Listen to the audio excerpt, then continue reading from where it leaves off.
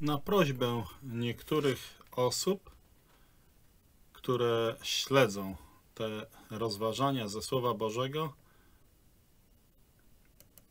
przyjrzeliśmy się pokrótce około 20 fragmentom Pisma Świętego, które nauczają prawdę o wiecznym bezpieczeństwie wierzącego. Wielu, jeśli nie wszystkich z nich, nie można uczciwie zinterpretować w żaden inny sposób niż to, co wyraźnie mówią. Jeśli uczciwy czytelnik Słowa Bożego jest prawdziwym, rzetelnym poszukiwaczem prawdy, nie powinno być wątpliwości co do tego, że zbawienie wierzącego jest wieczne i bezpieczne. Istnieje wiele fragmentów w Słowie Bożym, które w użyciu wrogów Słowa Bożego są fałszywie akcentowane i nadaje im się obłędny sens, który ma sugerować, że wierzący może stracić swoje zbawienie. I te, które ktoś podał, chciałbym poddać analizie. Ale oczywiście żaden fragment Pisma Świętego nie mówi o tym, że zbawienie można utracić. Po prostu ci oszuści religijni celowo nadają fałszywy sens i interpretują w sposób zniekształcony te fragmenty. Czytelnika Słowa Bożego może zastanawiać, dlaczego niektóre wersety nauczają o wiecznym bezpieczeństwie wierzącego, a inne, zdaniem tych oszustów religijnych, wydają się mówić, że wierzący może utracić coś z Bożych obietnic. Jeśli kogoś to niepokoi, to niech będzie pewny, że nieomylne Słowo Boże nie zaprzecza sobie samemu. Jeśli pojawia się pozorna trudność, nie jest to wina Słowa Bożego, ale rozumienia tego, kto je czyta. Z reguły, kiedy spotykamy się z czymś, co wydaje się sprzecznością w Słowie Bożym, sugerujemy, aby czytelnik Słowa Bożego trzymał się mocno jasnych stwierdzeń Pisma Świętego, których tak naprawdę nie można interpretować w żaden inny sposób. I jeszcze raz spojrzał na werset lub wersety, które są w kontekście używane przez oszustów religijnych, aby nadużywając prawdziwej treści Słowa Bożego, użyć ich przeciwko głównej nauce Pisma Świętego przez sugerowanie, że zbawienie może być jakoś naruszone. I ważne jest, że jest zazwyczaj fraza lub dwie we fragmencie, który źle zrozumiałeś, które jednoznacznie korespondują do całości Pisma Świętego i uczą, że kto jest raz zbawiony, jest na zawsze zbawiony. Oczywiście nie dojdzie się do właściwego zrozumienia Słowa Bożego bez modlitwy. Więc módl się o to i proś Pana Jezusa Chrystusa o pomoc w rozumieniu Słowa Bożego, a On pokaże Ci prawdziwe znaczenie. Przekonasz się, że Pismo Święte naprawdę nie zaprzecza sobie samemu. To jedyny uczciwy, prawdziwy, logiczny sposób radzenia sobie z trudnościami. Pewien nauczyciel biblijny o nazwisku Heyhoe zwykł mawiać: Nigdy nie pozwól, aby rzeczy, których nie rozumiesz w Piśmie Świętym, zepsuły ci radość z rzeczy, które rozumiesz. Przykładem są te fragmenty, które wydają się poprzez presję wywieraną przez fałszywych nauczycieli zaprzeczać wiecznemu bezpieczeństwu. Często są otoczone dość niejednoznacznymi wyrażeniami, które można odbierać na wiele różnych sposobów. Z drugiej strony, fragmenty pisma, które wcześniej już omówiłem, mówiące o wiecznym bezpieczeństwie wierzącego, są tak jasne, że trudno byłoby dostrzec w nich coś innego niż naukę raz zbawiony, na zawsze zbawiony.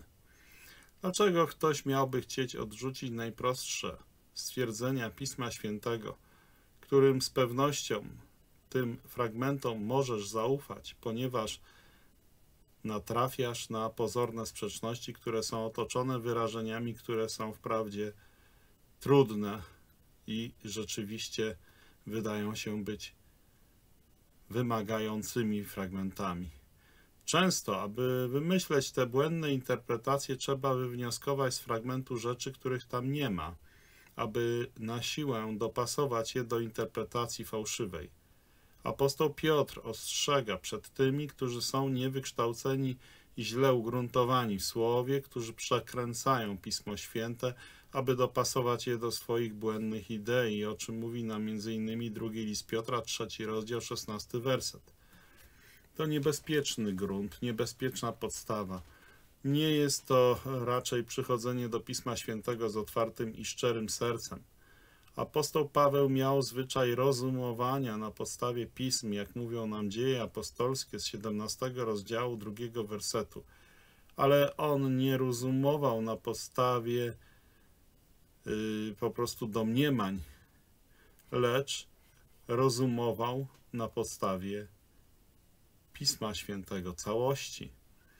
I my też nie powinniśmy rozumować na podstawie strzępków wyrwanych z kontekstu yy, pretekstów, ale mamy brać pod uwagę całe Słowo Boże. Pewien biblijny nauczyciel o nazwisku John Nelson Darby powiedział kiedyś, że ludzie próbują torturować fragmenty, aby były zgodne z ich doktrynami, zamiast biorąc doktrynę z fragmentów. Ci, którzy próbują czytać między wierszami Pisma Świętego, wnioskując z nich, naprawdę dodają coś do Słowa Bożego. Nie różnią się niczym od rzymskich katolików, którzy mają swoją tradycję ludzką, albo od świadków Jehowy, którzy mają swoje ciało kierownicze, albo od adwentystów Dnia Siódmego, którzy mają za nauczyciela szatana i jego rękawiczkę o nazwie Ellen White, czy mormonów i ich y, nauczyciela Smysa. Cztery główne przyczyny niezrozumienia niektórych fragmentów dotyczących tematu raz zbawiony na zawsze zbawiony możemy zawrzeć w takich stwierdzeniach. Zanim przyjrzysz się niektórym z tych problematycznych fragmentów Pisma Świętego, które wydają się sugerować, że dana osoba może utracić zbawienie, najpierw sobie tymi czterema punktami yy, wyznacz ścieżkę kontrolną. Te cztery przyczyny błędnych interpretacji są tutaj bardzo ważne, żeby je wziął pod uwagę. W prawie każdym przypadku jedna z tych czterech rzeczy znajduje się jako wyściełanie nieporozumienia. Więc po pierwsze, potrzeba rozumienia, zrozumienia kontekstu. Jeśli to naruszysz, nie masz szans zrozumieć fragmentu. Pierwszą przyczyną błędnych interpretacji na temat raz zbawiony, na zawsze zbawiony jest to, że często są one wyrwane z kontekstu. Być może najważniejszą zasadą wymaganą do prawidłowej interpretacji Biblii jest kontekst.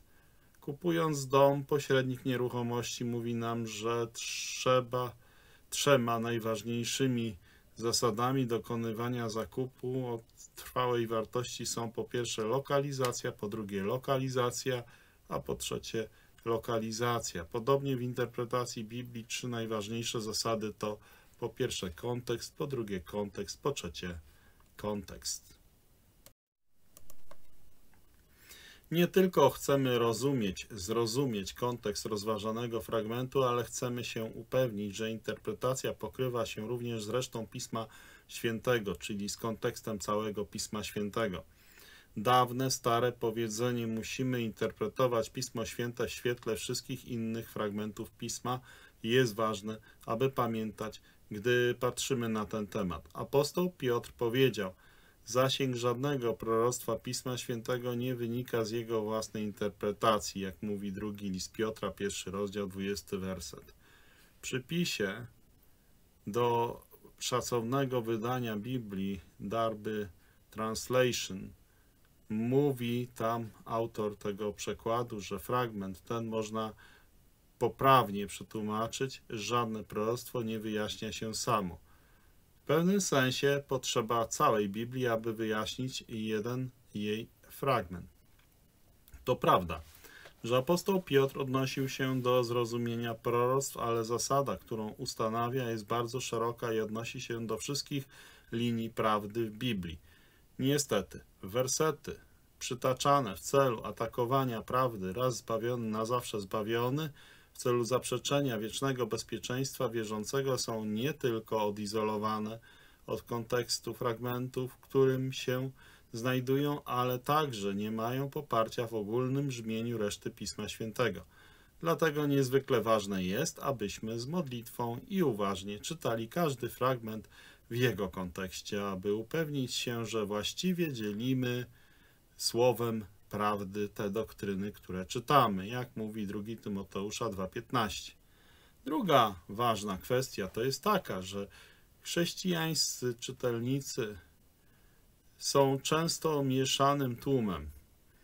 I to jest drugi powód błędnych interpretacji na ten temat, bo jeśli wiemy, że to jest mieszany tłum, to ten drugi powód błędnych interpretacji na ten temat jest taki, że nie uświadamiają sobie czytelnicy, że słuchacze, czytelnicy pisarza danego fragmentu Nowego Testamentu lub Starego Testamentu to mieszana rzesza prawdziwych wierzących i jedynie zdeklarowanych wierzących, w istocie niewierzących, ale praktykujących.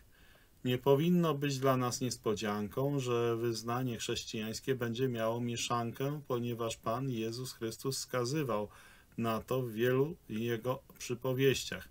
Powiedział tam yy, między innymi, że są ludzie, którzy są konkolem wśród pszenicy, jak mówi nam Mateusza 13, rozdział 25, werset. Na przykład pisząc do Koryntian apostoł Paweł dopuścił możliwość przebywania wśród nich zwykłych chrześcijan. W pierwszym rozdziale powiedział: Wszyscy, którzy na każdym miejscu wzywają imienia Jezusa Chrystusa, Pana naszego, zarówno ich, jak i naszego, o czym mówi 1 Koryntian 1:2. W drugim rozdziale ponownie nawiązuje do tej możliwości, gdy mówi o trzech klasach ludzi. Odnosi się do człowieka cielesnego, który nie ma ducha Bożego i nie jest zbawiony o czym mówi 1 Koryntian 2,14, odnosi się do duchowego człowieka, który jest zbawiony i ma kierownictwo Ducha Świętego, o czym mówi nam 1 Koryntian 2,15. I cielesnego człowieka, jak mówi 1 Koryntian 3,1, który jest zbawiony i ma Ducha Świętego, ale żyje według ciała. Ponownie w trzecim rozdziale apostoł rozróżnia trzy rodzaje pracowników w domu Bożym, używając słów, jeżeli ktoś pierwszym jest chrześcijanin, który służy dobrze i buduje zgodnie z wolą Bożą. Mówi, otrzyma nagrodę. Drugim pracownikiem jest chrześcijanin, który nie służy zgodnie z wolą Bożą. Mówi, poniesie stratę swojej nagrody ale szybko dodaje, że sam będzie zbawiony tak jakby przez ogień. Następnie w przypadku trzeciego pracownika apostoł odnosi się do fałszywie wierzącego, a prawdziwie praktykującego, czyli niezbawionego, praktykującego, niewierzącego, który twierdzi, że jest chrześcijaninem i zajmuje miejsce chrześcijańskiego sługi, ale nie jest rzeczywistym zbawionym obecność takich osób w świątyni Boga bezcześci, psuje to. Mówi, Bóg go zniszczy. O tym mówi apostoł Paweł. Bóg go zniszczy. Jak porównasz to z Mateusza 25:30, to zrozumiesz, co to znaczy. Warto więc pamiętać, że wielu z tych napomnień w Piśmie Świętym dotyczą wyznawców i prawdziwych, wymieszanych czyli tych, którzy wyznają i są wymieszani. Jest więc w tych napomnieniach coś dla sumienia pustych wyznawców wśród prawdziwych wierzących. Szatan był również między synami bożymi i tak samo między wierzącymi w zborze są ludzie, którzy są nienarodzeni na nowo. Przykład można znaleźć w liście do Kolosan, pierwszy rozdział, 23 werset. Kolejna, trzecia zasada mówi nam o tym, że jest różnica między odstępstwem a apostazją. I to jest trzeci powód błędnych interpretacji na ten temat zbawienia. Zbawiony raz na zawsze jest zbawiony zawsze. I to jest ważne, że ten trzeci powód błędnych interpretacji na ten temat wynika z nieznajomości różnicy między odstępcą a apostatą. W listach autorzy wspominają o dwóch rodzajach odejściach od Boga. Jednym jest odstępstwo, a drugim apostazja. Oba są złe, ale jeden jest nieskończenie gorszy. Jeśli czytelnik Pisma Świętego pomyli te dwa pojęcia, z pewnością będzie miał trudność w tej kwestii. Odstępstwo ma miejsce, gdy wierzący wychodzi z komunii z Panem, oddala się od poczucia Jego obecności i wchodzi na drogę grzechu. Nie traci zbawienia swojej duszy od wiecznej kary za swoje grzechy, ani też naprawdę nie wychodzi z obecności Pana, ponieważ Pan nigdy nie opuszcza ani nie opuszcza swojego ludu, o czym mówi nam Hebrajczyków 13 rozdział 5 werset. Ale taki wierzący traci poczucie obecności Pana i może czuć się bardzo daleko od Pana w swojej duszy. Wszystko zaczyna się, gdy wierzący dopuszcza grzech w swoim życiu i nie osądza tego grzechu. Często jest to jakiś mały grzech, pozostawiony bez osądu, w wyniku czego jego komunia zostaje przerwana, co prowadzi do odstępstwa. Apostazja to inny rodzaj odejścia od Boga. Jest to rezygnacja z wyznawania, y, którą się raz złożyło i porzucenie wiary chrześcijańskiej. To jest coś, co mógł zrobić tylko zwykły wyznawca, faktycznie niewierzący, ale wyznający, taki, który był niewierzący, ale praktykujący, ten, który nigdy nie został zbawiony. Dla takiej osoby nie ma powrotu do zbawienia. Hebrajczyków, szósty rozdział od czwartego do ósmego wersetu oraz dziesiąty rozdział od 26 do 31 wersetu to są właśnie te dwa rodzaje odejścia zilustrowane w Ewangelii Mateusza, 26 rozdział, w przypadku dwóch różnych apostołów pańskich, Piotra i Judasza. Piotr odstąpił i został przywrócony dzięki wierności Bożej, gdy odstąpił od grzechu. Tak czytamy w Łukasza 24, 34, w Jana 21 od 15 do 19. Judasz z kolei odstąpił od wiary i skończył w piekle na wieki. Psalm 109, werset 7 oraz Dzieje apostolskie, pierwszy rozdział, 25 werset. Osoba, która odstępuje, jest wezwana do powrotu do Pana. Tak mówi Jeremiasza, trzeci rozdział, 12 werset. Osoba, która jest apostatą, nie jest wezwana do powrotu, ponieważ nie ma powrotu.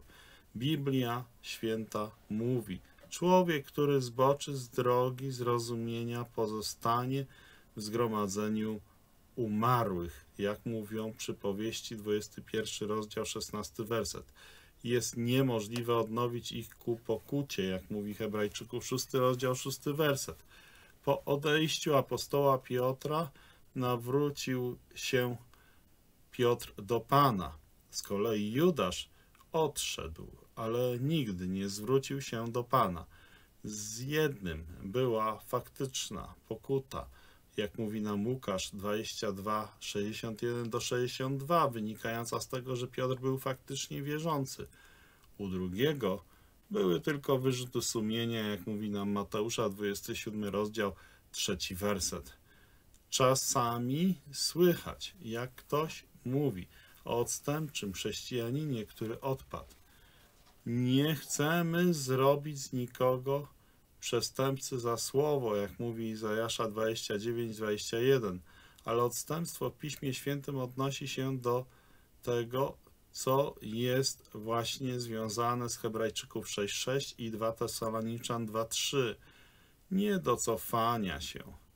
Piotr pokazuje, że chociaż chrześcijanin nie może być odstępcą, to jest możliwe, że zostanie porwany z nurtem apostazji i porzuci pewne doktryny i praktyki. Dlatego umiłowani, znając te rzeczy przedtem, uważajcie, abyście nie zostali zwiedzeni błędem bezbożnych. Tak jest napisane w drugim liście Piotra, w trzecim rozdziale, 17 wersecie. Nie go dziwi, w tym wersecie odnoszą się do odstępców właśnie opisanych w wcześniejszej części listu Piotra.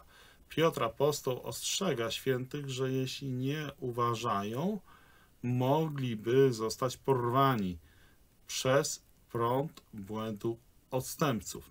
To nie uczyniłoby z nich odstępców, ale staliby się odstępcami. Piotr wiedział, o czym mówi, kiedy to mówił. Mówił z doświadczenia. Wszedł złe towarzystwo i został poprowadzony wraz z ich złymi drogami. Następnie, kiedy kwestionowano jego związek z Panem Jezusem, zaparł się go. Chrześcijanin nigdy nie może odpaść, ale może upaść z niezłomnego oddania się Panu. Jak mówi drugi list Piotra, trzeci rozdział, 17 werset. A także może odpaść zasad łaski, nie tracąc zbawienia, jak mówi Galacjan 5,4. Chrześcijanin ma dwa ogniwa połączenia z Bogiem. Jednym z nich jest jego związek. Nie ma nic, co mogłoby być silniejsze. Żaden człowiek, ani diabeł, ani grzech nie może zerwać tego związku, ponieważ jest w nim wiecznie bezpieczny. Jeśli znamy Pana Jezusa jako naszego Zbawiciela, zajmujemy przed Nim i przed Bogiem pozycję w Chrystusie. Nie można nigdy potępić tych, którzy są w tym miejscu, to znaczy w Chrystusie, jak mówi Rzymian, 8 rozdział, pierwszy werset. Bycie w Chrystusie to jest właśnie miejsce akceptacji, w którym sam Chrystus jest przed Bogiem. Mówiąc najprościej, być w Chrystusie to być na miejscu Chrystusa przed Bogiem. Cała łaska Boża, która spoczywa na Chrystusie, tak jak On teraz jest na wysokościach fale, spoczywa na wierzącym. Innym ogniwem łączącym chrześcijanina z Bogiem jest więź komunii, społeczności. Nie ma nic bardziej kruchego niż komunia z Panem. Może być złamana przez najmniejszy grzech, a potem, jeśli nie zostanie to osądzone i wyznane Panu, rozpoczyna się kurs ku odstępstwu, nawet jeśli na początku jest to bardzo małe odstępstwo. Rozważając temat raz zbawiony, na zawsze zbawiony, ważne jest, aby zrozumieć różnicę między tymi dwiema rzeczami, ponieważ niektóre ostrzeżenia w Nowym Testamencie są skierowane do tych, będących zwykłymi wyznawcami, ale wyznawcami niewierzącymi, ale praktykującymi, którzy byli w niebezpieczeństwie apostazji. Jeśli pomylimy te ostrzeżenia z napomnieniami dla wierzących, zbawionych wierzących, popadniemy w złą doktrynę. Niektórzy mogą zapytać, skąd wiesz, że prawdziwi chrześcijanie nie mogą odstąpić? Ponieważ Pismo Święte zezwala na przywrócenie prawdziwych wierzących, jeśli upadną, ale równocześnie Pismo Święte nie uczy, że odstępca może zostać przywrócony. Kiedy odstępcy odchodzą od Boga, niemożliwym jest ponowne odnowienie jest ich ku pokucie, jak mówi Hebrajczyków 6:6. Czwarta kwestia to pojęcia z góry przyjęte. Czwartym powodem błędnych interpretacji zagadnień biblijnych są z góry przyjęte błędne idee, czyli przesądy, zabobony, utrudniające zrozumienie. Trzy wielkie rzeczy przyczyniły się do zrujnowania świadectwa Kościoła. Wszystkie zaczynają się w podobny sposób: ignorancja, obojętność i nieposłuszeństwo. Wiemy, że największą z nich jest ignorancja. Ten sam problem był w Izraelu.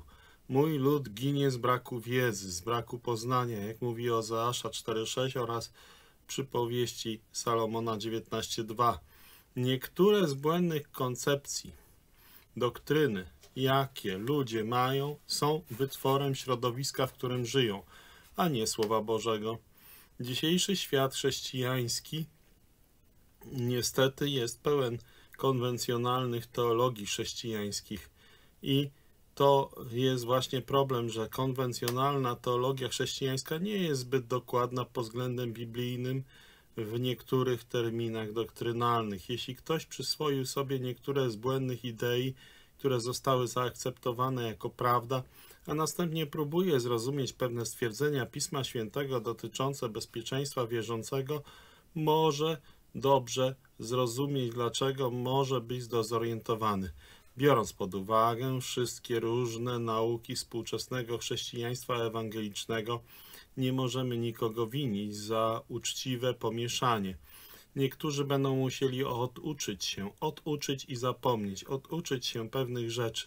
Miarę postępów studiowania Słowa Bożego mam nadzieję, że rozwikłasz niektóre z tych fałszywych pojęć, a tym samym wyjaśnisz sobie na podstawie Słowa Bożego zamieszanie na ten temat w każdym z fragmentów Słowa Bożego, którym chciałbym się zająć.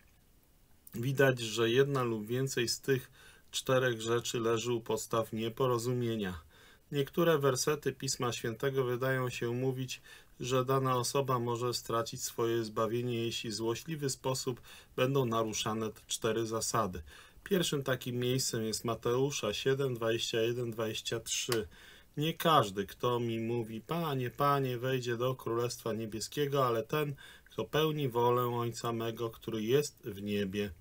Wielu mi powie w owym dniu, Panie, Panie, czyż nie prorokowaliśmy imieniu Twoim i w imieniu Twoim nie wypędzaliśmy demonów i w imieniu Twoim nie dokonywaliśmy wielu cudów, a wtedy wyznam im, że nigdy was nie znałem. Odstąpcie ode mnie wy, którzy czynicie nieprawość.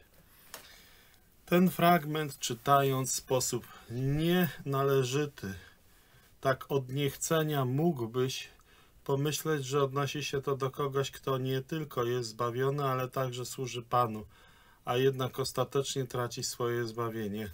Jest to oczywiście błąd, jest to nieporozumienie i to nieporozumienie jest przykładem nieuważnego odczytania fragmentu w jego kontekście. Uważna lektura pokazuje, że ta osoba nigdy nie została zbawiona. Złożyła tylko wyznanie, mówiąc: Panie, panie, ale nie miała ta osoba żadnej wewnętrznej rzeczywistości. Kontekst dotyczy fałszywych proroków, którzy przychodzą do was w owczej skórze, jak mówi Ewangelia Mateusza, siódmy rozdział od 7 do 20 wersetu. To tylko były zewnętrzne pozory tej ich twierdzenia. Pan Jezus Chrystus ostrzegał swoich słuchaczy, że wśród nich mogą być tacy, którzy nimi są. Pan Jezus powiedział do tych osób: Nigdy was nie znałem. W ich historii nigdy nie było takiego czasu, kiedy mieli relację z Panem. Nigdy nie byli zbawieni. Pan nie powiedział, kiedyś Cię znałem, ale teraz, kiedy zgrzeszyłeś i się odwróciłeś, już Cię nie znam.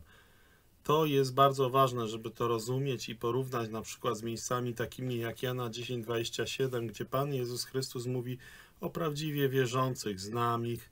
Ci ludzie nigdy nie zostali zbawieni, ponieważ nie wypełnili woli Ojca, którą według Jana 6:40 jest wiara w Pana Jezusa. To jest wolą tego, który mnie posłał, aby każdy, kto widzi Syna i wierzy w Niego, miał życie wieczne. Ci ludzie z siódmego rozdziału Mateusza to byli niewierzący, ale praktykujący. Teraz możesz się zastanawiać, jak ci ludzie dokonali wielu cudownych dzieł albo prorokowali w imię Pana, skoro nie byli zbawieni. Jednak jest mnóstwo ludzi, którzy zajmowali stanowiska w tak zwanych służbach, którzy głosili Słowo Boże zambony, a mimo to nie zostali zbawieni. Przykładem jest John Wesley, innym byłby Judasz Iskariota. Mateusza 10 rozdział od 1 do 7 wersetu. John Wesley został zbawiony później, ale Judasz nigdy nie został zbawiony. Możliwe jest również, aby osoba, która nie jest zbawiona, wypędzała diabły, demony – Dzieje apostolskie 19:13 dostarczają nam przykładu. I znowu Judasz jest kolejnym przykładem Mateusza 10:1. Pan Jezus Chrystus uroczyście ocenił ich uczynki, że były to tylko uczynki nieprawości.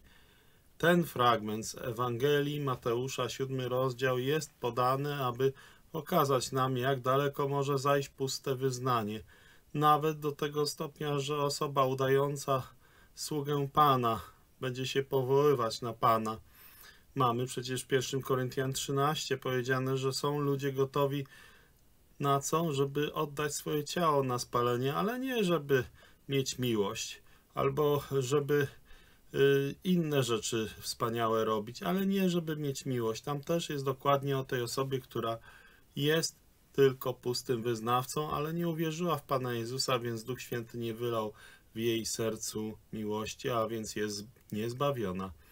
Jest to prawdziwe ostrzeżenie dla każdego, kto porusza się w sprawach Bożych, nie mając żadnej wewnętrznej rzeczywistości, bo sam osobiście nie uwierzył Jezusowi.